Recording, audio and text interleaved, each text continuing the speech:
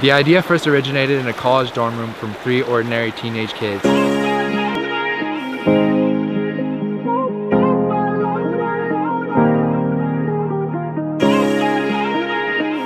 We wanted to create something that would be bigger than ourselves, something that didn't have a cap limit.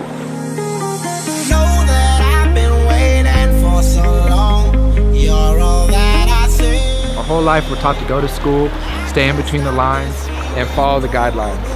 We ultimately wanted to create something that would be big and have endless opportunities, to stray away from the path well traveled, to show kids if you have a dream or a passion, to go chase it.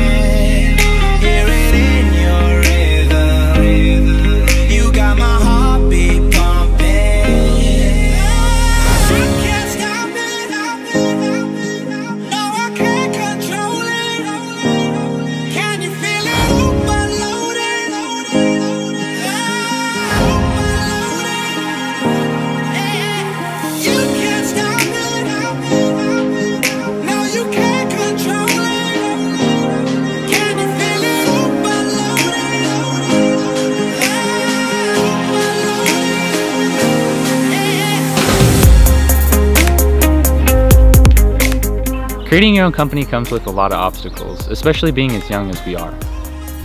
Other companies and business owners will try to take advantage of you because you're young, but here at WAYV, we're defying the odds. There'll always be somebody that disagrees with what you're doing, but it is important to us that we stay true to our brand.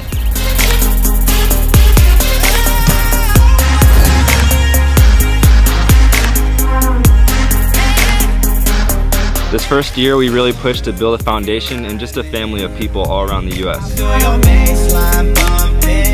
With the connections and collaborations of just different people and companies coming together, I just really see WAYV being compared to the big names out there. We're just so blessed and fortunate for all the support we have been getting. And we're just so excited for all that is to come. Come be a part of the family and live this wave of life. We are here now and we are here to stay. We are WAYV.